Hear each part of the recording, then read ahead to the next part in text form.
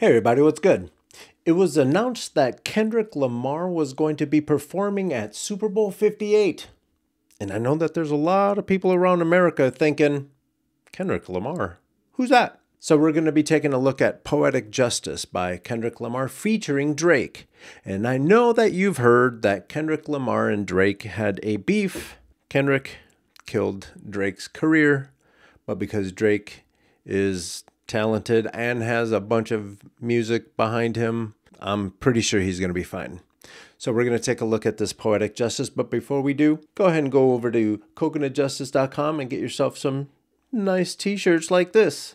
There's a bunch of clothes up there that I think would look good on you. So go check it out. Coconut Justice.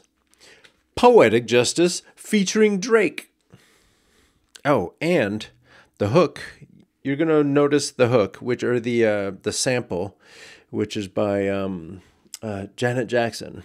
Love me some Janet Jackson, but not just any old Janet Jackson. I mean, generally love Janet Jackson, but my favorite Janet Jackson is Pleasure Principle Janet Jackson. You know, with the chair, whoop, like that, with them jeans, with them jeans. Shout out Janet Jackson.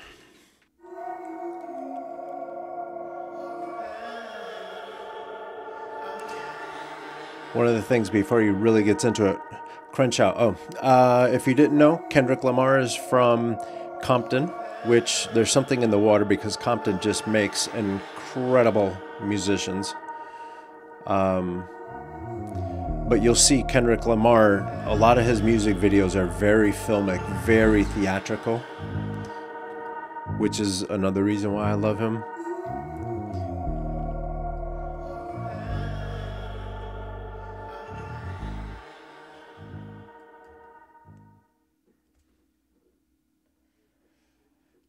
Every second, every minute, man, I swear that Uh-oh. she can get it. Say if you a bad bitch, Hey. your hands up high. Come on. Hands up high, hands up high. Tell them dim the lights down right now. Put me in the mood. I'm talking about dark room. It's about to go down.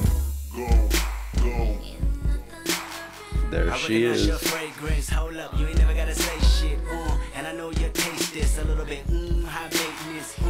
Everybody else basic. You live life on an everyday basis with But no, for real. Pleasure Principle, where she's dancing in that warehouse. poetic justice. Poetic justice. If I told you that a flower bloomed in a dark room, would you trust it? I mean, I write poems in these songs dedicated to you in the mood for empathy. There's blood in my pen. Better yet, with your friends and them. I really wanna know you all. I really wanna show you off. Fuck that. Pour up plenty of champagne. Okay, so so far we have a rapper making a love song to his woman, saying wonderful things that he wants to show her off and all this stuff. You see, do you see what I'm telling you? Like hip hop music isn't always about shooting and bitches and hoes and stuff like that. This is what I'm talking about. You know, some of us are trying to be grown out here. like we don't have time to go to jail. We got bills and shit.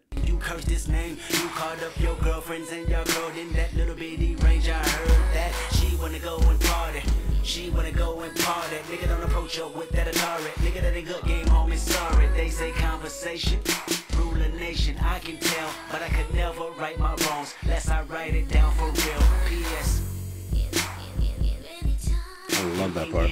You can get it, you can get it. Any place, And I know just, know just, know know just, know just what you want. Poetic justice, put it in a song. Alright. You can get it, you can get it, you can get it, you can get it. And I know just, know just, know just, know just, know just Hey, for real. When I'm golfing, this is what I listen to. This kind of stuff. I really hope you play this, cause oh girl, you test my patience with Drake. all these seductive Okay. photographs and all these one off before, before we let Drake go in, uh, Drake is talented. Drake, they, they, he makes a certain kind of hip hop music, and it it makes sense sometimes. Sometimes, but yeah, they had that. Uh, oh, to explain the beef real quick. So what happened was Drake was making music and touring with another hip hop guy or a hip hop artist, rapper by the name of J. Cole. And then Drake and J. Cole came out with a song called First Person Shooter. In that song, I believe it was J. Cole that was talking about the big three. So the big three of hip hop were Drake, J. Cole, and Kendrick. And again, J. Cole and uh, Drake were hanging out. They were touring. They were making music together. They're all buddy buddy. And then there was a line in First Person Shooter that said, It's the big three. The big three being Drake, J. Cole, and Kendrick Lamar. Kendrick Lamar didn't take that to didn't take to that too kindly, and he came out with the song that said, "It ain't the big three, it's Big Me." Because according to the rules of hip hop, if you want to be a MC, if you want to be a rapper, same thing. But if you want to be a rapper and you're gonna call yourself the very best, there's a sport to the rap game or to the hip hop game where if you're gonna claim to be the best, you have to beat the best. It's just that simple. Or just shut the hell up and get back in your corner. J. Cole, so after Kendrick dropped his track saying it's Big Me, J. Cole came out with a diss track. Everyone that J. Cole or uh, hangs out with, they're like, you don't want this because Kendrick is he goes he goes for the jugular. Like he he leaves a statement and that's it. Well, then Drake stepped up and released a track to which then Kendrick had to come back and respond to. And then this is how the duel went, going back and forth. And it went about three rounds. And then. and then there's a diss track that um, that Kendrick Lamar released that was such a well produced song, and the contents of it were just wonderful. Everything was really, really just good about this song that people started playing it in the clubs, and now everyone is dancing to lyrics that are just, they are demolishing who Drake is as a person. Kendrick just went so absolutely personal. And now Kendrick is going to uh, perform at the Super Bowl. Which uh, the so this is another part of the drama that's happening in this situation. Um, you probably, if you haven't heard, but you probably know that there's a rapper by the name of Lil Wayne. He makes a lot of music that a lot of people have heard. Lil Wayne is from New Orleans, and the Super Bowl is being played in New Orleans, and so that's why you would assume that Lil Wayne would be the one per, uh, performing, but instead uh, they got the deal with Kendrick. Uh, I'm excited. I, I would have been excited either way. The Super Bowl would have won either way because I know Lil Wayne. I know he puts on a, a damn good show. Uh, but I'm excited that Kendrick got the nod this time, and uh, and uh, we'll see. It's gonna be cool. Let's get back to it. Just what you want. Poetic justice. Alright. I really hope you play this, cause oh girl, you test my patience with all these seductive photographs and all these one uh, vacations. I'm sorry, Drake, I have to cut you off again. And I think it's kind of unfortunate for the hip hop scene or for the rap scene for these beefs to to happen because it gets in the way of great collaborations, but at the same time, steel sharpens steel. If these guys didn't push each other the way that they did, we wouldn't have these songs that are very important to the culture or to the history of the culture.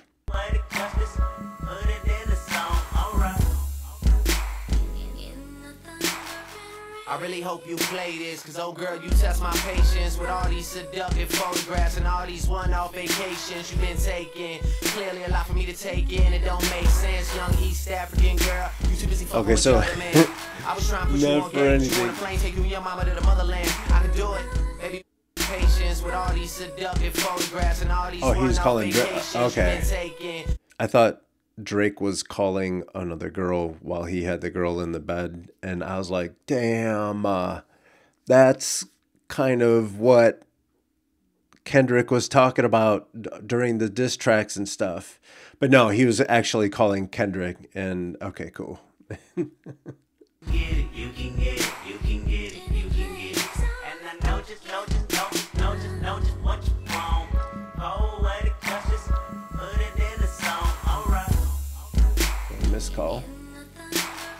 I really hope you play this, cause oh girl, you test my patience with all these seductive photographs and all these one-off vacations you've been taking.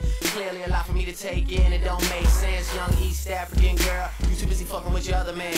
I was trying to put you on game, put you on a plane, take you and your mama to the motherland. I could do it, maybe one day. When you figure out you're gonna need someone, when you figure out it's all right here in the city and you don't run from where we come from, that sound like poetic justice. Poetic justice.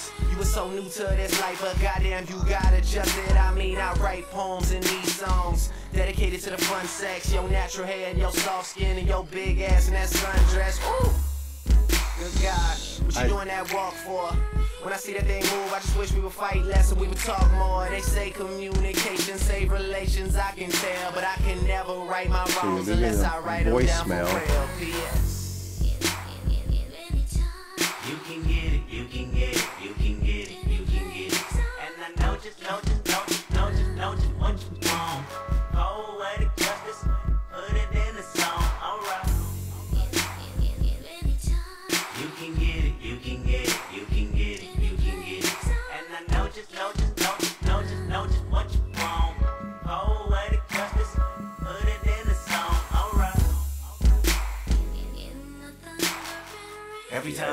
these words, they become a taboo.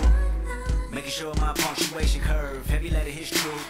Living my life in the margin, and that metaphor was proof. I'm talking poetic justice, poetic justice. If I told you that a flower. So I know earlier I was talking about this song not having uh, them talking about um, bitches and hoes and cars and guns and stuff like that. What Kendrick is showing here is their reality. Um, this this stuff, this drive by Every time I write these words, they become a taboo. Making sure So you see, like this is part of their reality, where you know uh, there's drive-bys and just it, it, anything can happen at any time, uh, and this is just the reality. So he's not necessarily, and I guess money, hoes, and cars can be someone's reality, but um, but this is this is normal people trying to get by get caught in this situation way too often and it's this is the reality that happens to you um instead of you making your reality. You know there's a difference. And for me you sharing stories about things that are happening to you and you're informing us what's happening and using rap as the art form that's telling your story that's this is why i absolutely am passionate about this kind of hip hop, this kind of storytelling, this type of music video production, this type of filmmaking, you know? I think there's a huge difference between just ratchet music and this. And it's unfortunate because this kind of rap is such an art form and it's that ratchet stuff about the booty shaking and all that stuff um, kind of detracts a lot of people from this art form. Um, and they're not able to learn more about our stories and our realities because it keeps getting clouded by these booty shaking videos that that don't make sense to a lot of us. Um, I mean, I understand booty shaking. There's there's a time and a place for booty shaking, but yeah, let's get back to it. Living my life in the margin, and that metaphor was proof. I'm talking poetic justice, poetic justice. If I told you that a flower bloomed in a dark room, would you trust it? I mean, you need to hear this. Love is not just a verb, it's you looking in the mirror. Love is not just a verb, it's you looking for it, maybe. Call me crazy, we can both be insane. You see what he said there? It's attraction is common. it's simple simple little lines like that that he drops in there. He said he he, he said that love isn't just what you're getting, it's also like looking in the mirror um, and and accepting what you have and understanding that if you're not happy, you have the power within yourself to to make it happen, to make your life be what you want it to be. Just a simple little line like that. Poetic justice. Poetic justice. If I told you that a flower bloomed in a dark room, would you trust it? I mean, you need to hear this. Love is not just a verb, it's you looking in the mirror. Love is Love is not just a verb, it's you looking in the mirror. You see what I'm saying? And all that booty shaking shit is what's keeping people from learning this.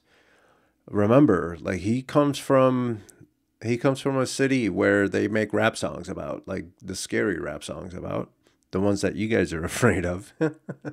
and he's still like he's prolific being a poet. He's a prolific songwriter.